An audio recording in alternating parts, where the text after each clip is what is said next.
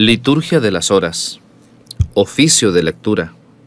Martes de la decimoprimera semana del tiempo ordinario. Tercera semana del Salterio. Señor, abre mis labios, y mi boca proclamará tu alabanza. Salmo invitatorio. Antífona.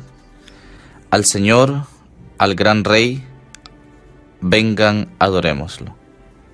Vengan, aclamemos al Señor, demos vítores a la roca que nos salva, entremos a su presencia dándole gracias, aclamándolo con cantos, porque el Señor es un Dios grande, soberano de todos los dioses, tiene en su mano las cimas de la tierra, son suyas las cumbres de los montes, suyo es el mar porque Él lo hizo, la tierra firme que modelaron sus manos. Vengan, postrémonos por tierra, bendiciendo al Señor, Creador nuestro, porque Él es nuestro Dios y nosotros su pueblo, el rebaño que Él guía. Ojalá escuchen hoy su voz, no endurezcan el corazón como en Meribá, como el día de Masá en el desierto, cuando sus padres me pusieron a prueba y dudaron de mí, aunque habían visto mis obras. Durante cuarenta años Aquella generación me repugnó y dije, es un pueblo de corazón extraviado que no reconoce mi camino. Por eso he jurado en mi cólera que no entrarán en mi descanso. Gloria al Padre, y al Hijo, y al Espíritu Santo, como era en el principio, ahora y siempre, por los siglos de los siglos. Amén. Al Señor, al gran Rey, vengan, adorémoslo. Himno. Alabemos a Dios, que en su palabra nos revela el designio salvador, y digamos en súplica confiada, renuévame por dentro, mi Señor. No cerremos el alma a su llamada, ni dejemos que arraigue el desamor. Aunque dura es la lucha, su palabra será bálsamo suave en el dolor. Caminemos los días de esta vida como tiempo de Dios y de oración él es fiel a la alianza prometida. Si eres mi pueblo, yo seré tu Dios. Tú dijiste, Jesús, que eras camino para llegar al Padre sin temor. Concédenos la gracia de tu Espíritu que nos lleve al encuentro del Señor. Amén. Salmo 67, primera parte. Antífona. Se levanta Dios y huyen de su presencia los que lo odian. Se levanta Dios y se dispersan sus enemigos. Huyen de su presencia los que lo odian. Como el humo se disipa, se disipan ellos. Como se derrite la cera ante el fuego, así perecen los impíos ante Dios. En cambio, los justos se alegran, gozan en la presencia de Dios, rebosando de alegría. Cantad a Dios, tocad en su honor, alfombrad el camino del que avanza por el desierto. Su nombre es el Señor, alegraos en su presencia. Padre de huérfanos, protector de viudas, Dios vive en su santa morada. Dios prepara casa a los desvalidos, libera a los cautivos y los enriquece. Solo los rebeldes se quedan en la tierra abrasada. Oh Dios, cuando salías al frente de tu pueblo y avanzabas por el desierto, la tierra tembló, el cielo destiló. Ante Dios, el Dios del Sinaí, ante Dios, el Dios de Israel. Derramaste en tu heredad, oh Dios, una lluvia copiosa. Aliviaste la tierra extenuada, y tu rebaño habitó en la tierra. Que tu bondad, oh Dios, preparó para los pobres. Gloria al Padre, y al Hijo, y al Espíritu Santo, como era en el principio, ahora y siempre, por los siglos de los siglos. Amén. Se levanta Dios, y huyen de su presencia los que lo odian. Salmo 67, segunda parte, antífona.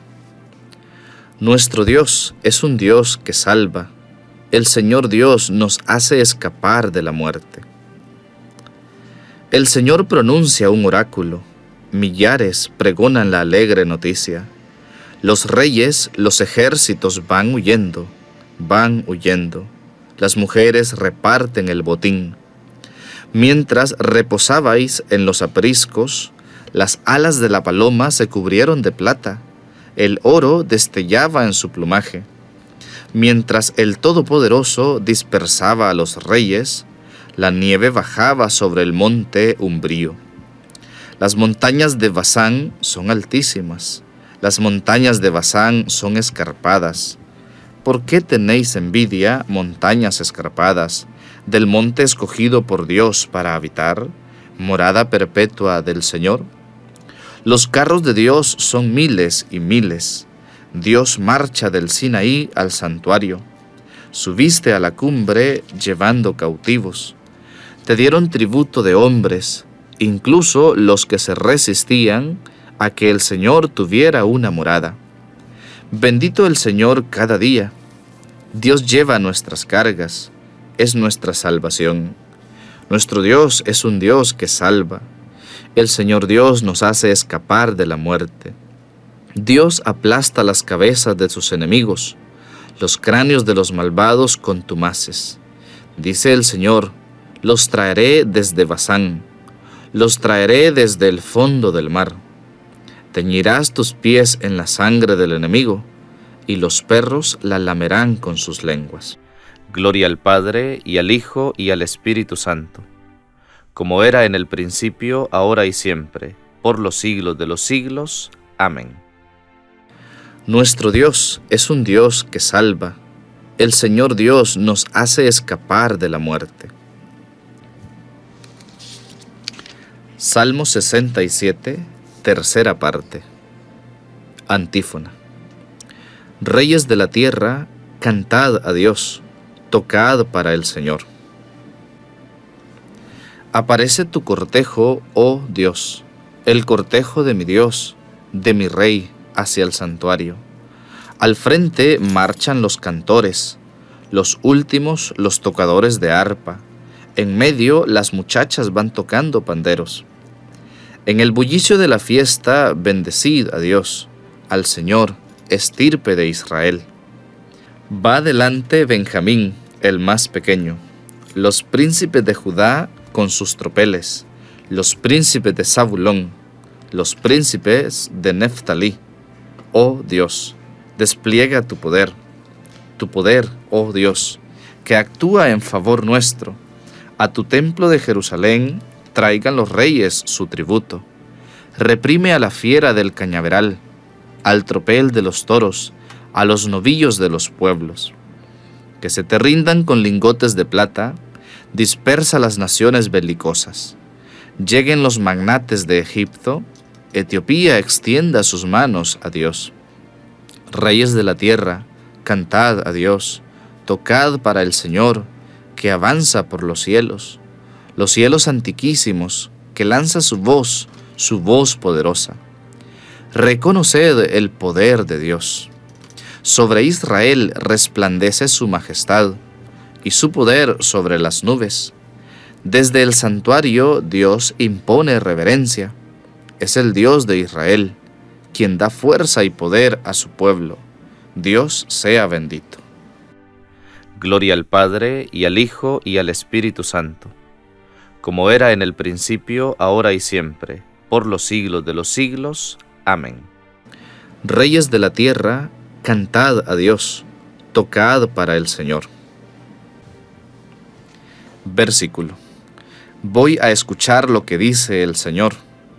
Dios anuncia la paz a su pueblo.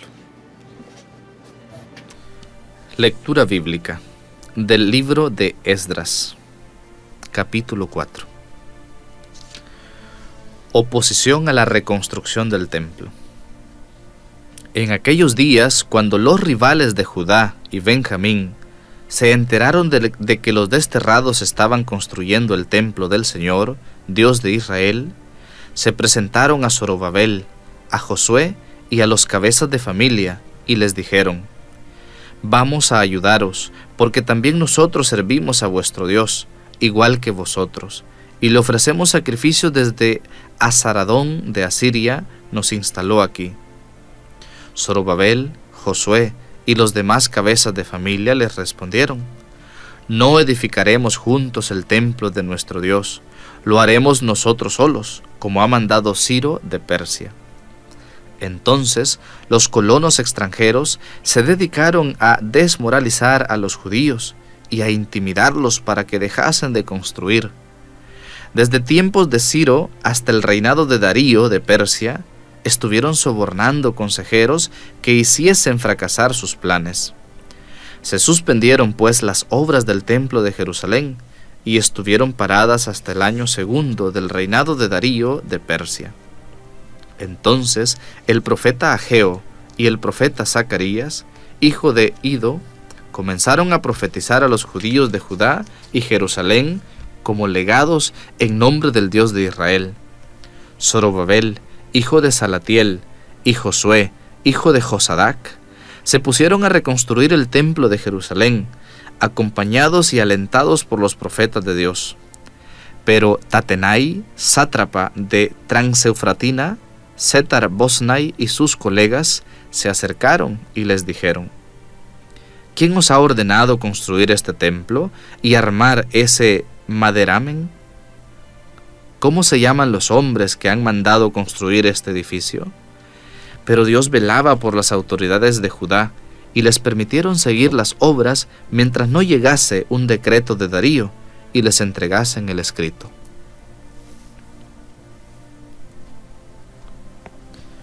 Responsorio breve.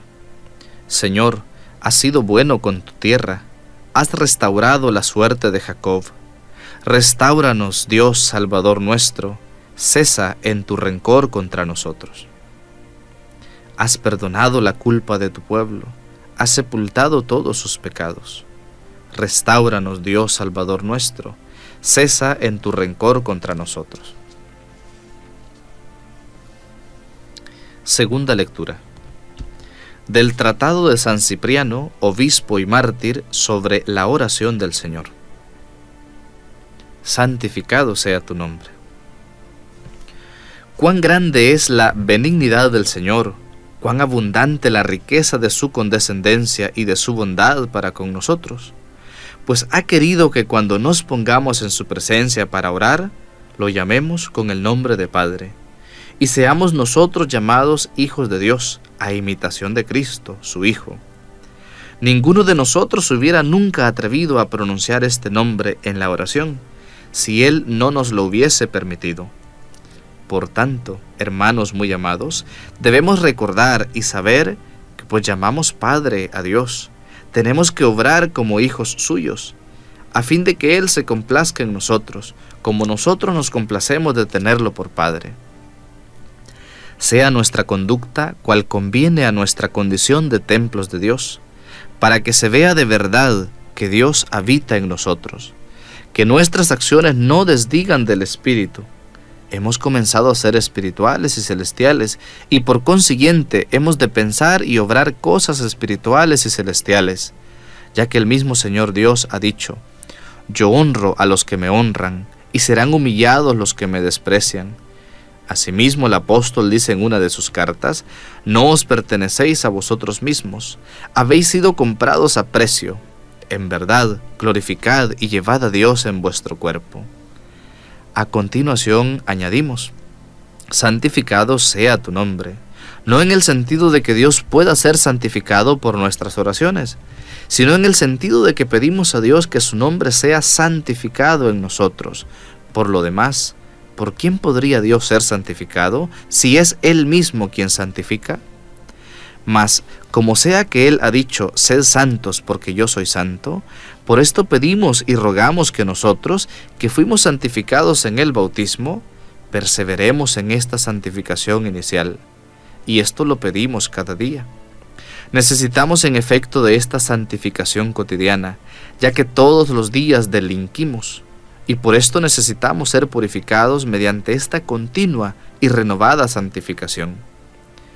El apóstol nos enseña en qué consiste esta santificación que Dios se digna concedernos cuando dice, ni los impuros, ni los idólatras, ni los adúlteros, ni los afeminados, ni los sodomitas, ni los ladrones, ni los avaros, ni los borrachos, ni los calumniadores, ni los rapaces poseerán el reino de Dios. Y en verdad que eso erais algunos, pero fuisteis lavados, fuisteis santificados, fuisteis justificados en el nombre de Jesucristo el Señor, por el Espíritu de nuestro Dios. Afirma que hemos sido santificados en el nombre de Jesucristo el Señor, por el Espíritu de nuestro Dios. Lo que pedimos pues es que permanezca en nosotros esta santificación, y acordándonos de que nuestro juez y Señor conminó a aquel hombre que él había curado y vivificado, a que no volviera a pecar más, no fuera que le sucediese algo peor, no dejamos de pedir a Dios de día y de noche que la santificación y vivificación que nos viene de su gracia sea conservada en nosotros con ayuda de esta misma gracia. Responsorio. Mostraré la santidad de mi nombre ilustre, derramaré sobre vosotros un agua pura, os daré un corazón nuevo y os infundiré mi espíritu, para que caminéis según mis preceptos y guardéis y cumpláis mis mandatos. Sed santos porque yo soy santo, para que caminéis según mis preceptos y guardéis y cumpláis mis mandatos. Oración. Oh Dios, fuerza de los que en ti esperan, escucha nuestras súplicas, y puesto que el hombre es frágil y sin ti nada puede, concédenos la ayuda de tu gracia para observar tus mandamientos y agradarte con nuestros deseos y acciones. Por Jesucristo nuestro Señor. Amén. El Señor esté con ustedes y con tu espíritu y la bendición de Dios Todopoderoso, Padre, Hijo y Espíritu Santo, descienda sobre ustedes y les acompañe siempre. Amén.